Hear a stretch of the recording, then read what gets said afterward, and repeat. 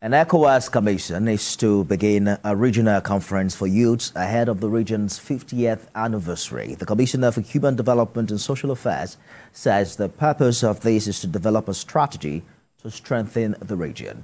Moya Thomas reports.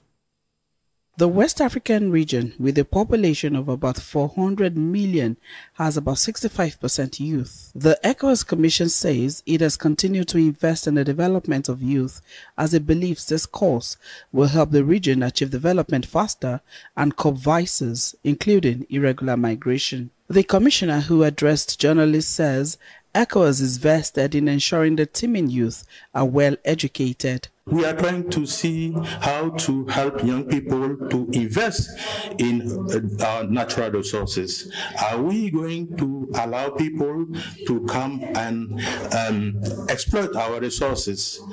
Uh, if Africa is able to start to think about its um, problems of education for gold, uranium, all these uh, wealth that we have, that we should ensure that we have the capacity to exploit them.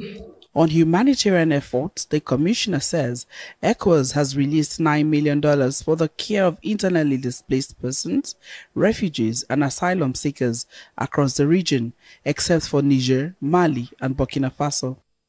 She also disclosed that ECOWAS has reserved $4 million for humanitarian action out of the $25 billion intended for the fight against terrorism. The 9 million is for internally displaced persons, refugees, and um, asylum seekers and the host communities. So you see that most people in that group are young people and women. As I had said, it is to enable uh, uh, the resolution of this problem within our uh, region because some of these people they move uh, from their displaced either within their countries or across borders to another uh, country so that 9 million is for such cases ECOWAS also says youth entrepreneurship in the region received $50,000 for scientific innovation startups in order to consolidate youth development beyond education. Muya Thomas, TVC News, Abuja.